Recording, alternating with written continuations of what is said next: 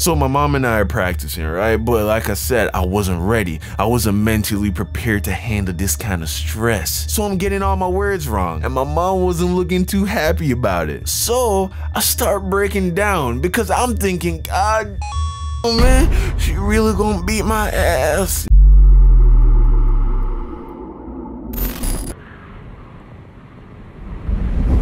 So there's this other animator here on YouTube named James, but he goes by TheOdd1sOut. And he recently did a video called My Horrible Spelling. And in it, he talks about how much he sucked at spelling as a kid, and because of that, he was given easier tests than the rest of the class, and was also put into some special needs class where he got extra attention so that he could get better at spelling and reading. And I'm sitting there listening to his story, and I'm just like, bitch, what? Because here's the thing, I also sucked at spelling as a kid, okay? But uh That's not how that shit went for me, man. Like James, I was also terrible at spelling at the elementary school level. I'd have weekly spelling tests and I would religiously fail every test. And I mean terribly, okay? Like 2 out of 10 on a good day. And just like James's parents obviously were, my parents also cared about how I was performing in school. But unlike James's parents, my parents were how do you say uh oh yes black. And not just any kind of black, okay? Caribbean black. So what does that mean, Don? It means ain't no black Caribbean parent worth their salt gonna let some lady from school tell them that their kid is special needs, okay? And listen, I ain't trying to bag on special needs kids, okay? Just because you're special needs doesn't mean you're stupid. TheOdd1sOut, for instance, very smart dude, but thinks he probably has dyslexia, a very real condition that makes reading and spelling very hard. Has nothing to do with how intelligent you are. But, eh, that shit don't work in Jamaica, man, where I'm from. That's just not the culture over there. In Jamaica, special needs pretty much means reti- handicapped. handicapped, sorry. At least that's how it was when I was a kid. If you didn't have like an obvious mental disability like severe autism or Down syndrome or something like that, if you weren't doing well in school, as far as the average black Caribbean parent is concerned, you's just being lazy. You're not trying hard enough. Ain't no ADHD or dyslexia in Jamaica. If you even say the word dyslexia to a Jamaican parent, they're just gonna say bless you. Followed by cover your mouth when you sneeze, you nasty ass mother. So, this begs the question, how then were my parents going to get me to go from failing every test to getting the minimum grade requirement for any Caribbean household, which is 100%. Well, my dad, being a truly brilliant man, came up with a very effective technique. He would beat me. yeah, he would uh he would beat me for bad spelling grades. Now, listen, my dad is a great man, all right, and a great father. I don't want y'all thinking he was like abusing me or whatever. See, there's there's an art to beating your child, okay? And my dad was a young Picasso with the belt. My dad spanked me with the same approach that a circus ringleader trains a lion with a whip. It's more about the fear of the belt itself and not actually the pain of being hit. He wasn't leaving bruises or any crazy like that, okay? But I digress. The arrangement went like this. Every time I took a spelling test, for every word that I got wrong, I would get one lick. A lick is basically when you hold your hand out and get slapped in your palm with a belt. Now, even though I can say today that I don't believe I was ever abused as a child, back then, my perspective was a little different. At the time, I was extremely traumatized by the whole ordeal, okay? There was this one moment in particular that is permanently seared into my brain. All right, check this out. So my mom and dad were divorced, right? And they weren't all that good at communicating with each other, obviously, thus the divorce. So my mom didn't know that my dad had employed this negative reinforcement technique to make me a better speller. So one Saturday morning, after a couple weeks of getting my ass beat for spelling tests, my mom ambushes me while I'm watching my Saturday morning cartoons. I'm sitting there, right? Straight, chilling, eating my Fruity Loops. Not Fruit Loops, Fruity Loops.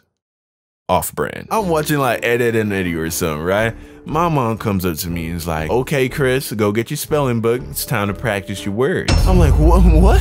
Mom, no, no, no, not, not right now. Cause I wasn't ready. My mom had never practiced my words with me. It was always my dad. So she caught me off guard. My mom's like, Chris, go get your spelling book, okay? I'm not gonna ask you again. So I go get my spelling book with all my words, all right? My mom and I begin to practice. So my mom and I are practicing, right? But like I said, I wasn't ready. I wasn't mentally prepared to handle this kind of stress. So I'm getting all my words wrong. And my mom wasn't looking too happy about it. So I start breaking down because I'm thinking, God Oh man, she really gonna beat my ass. Now, my mom ain't the type of woman to spank her kids for something like that, but I'm thinking that my mom and my dad were still on the same team, at least when it came to this shit. So I'm crying, right? And my mom's getting mad because she thinks I'm crying for no reason. She didn't know that my dad had been training me like a circus lion. But, of course, I'm her little baby. Alright, so she looks at me and says, Chris, okay, this is what we're gonna do. I'm gonna do one more word, okay? If you get this word right, we'll stop. So now I'm like, okay, okay, okay, okay. She says, spell away. I'm like, okay. oh. No, son, sound it out for mommy, okay? Okay, I'm sorry. Listen. A way. okay. E you see, at this point, it's too late. It's too late. I was already too worked up to spell properly. I couldn't think. So my mom's like, Chris, look, you can do this. Spell A. I'm like, A? She's like, good, good. See? Now, now spell way. I'm like, W, W, uh-huh, A, uh-huh. Why? She's like, yes, baby, see, look. Now, spell a way.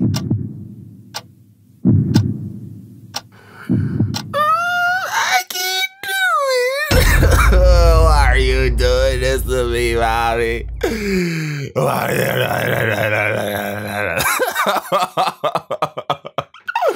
oh my god, yeah. I'm an idiot. I start bawling, man. I can't even get words out. My mom's like, why are you crying so much? But I can't even tell my dad because I'm crying too much to even use words, dog. So then she closes the book and hugs me and says we don't have to do any more spelling. So yeah, that happened. But uh, my dad would still beat my bad spelling grade. So yeah, I don't think my mom ever found out. But I tell you what, it worked. Cause by the end of the year, boy, I was getting a hundred on every spelling test. If I had dyslexia as a kid like James, my dad beat that junk out of me, man. Hit my ass so many times, letters started lining up and words started making sense. And yeah, that's how my dad fixed my spelling. Moral of the story. I don't really know for this one, guys. Uh, eventually you get too big for your parents to keep beating your ass. I don't know. I don't know, man. But yeah. Mm. Have have a good day. Big shout out to the best squad on the internet, man. The Sauce Squad. It's your boy, Young Don, the Sauce Squad. Today's winner of their very own signed YDSG poster is at particarti. Congrats, fam. Make sure to check your DMs for more. If you want a chance to win next week, just follow me on Twitter and retweet my pinned tweet. We're almost at that 10K, man, so let's go ahead and uh wrap this shit up, man. Let's get let's get me to 10k. Get me some respect on my Twitter name. As always, I want to thank y'all for your love and support. Make sure to subscribe and hit that notification bell so you never miss a video. Next animation drops sometime next week.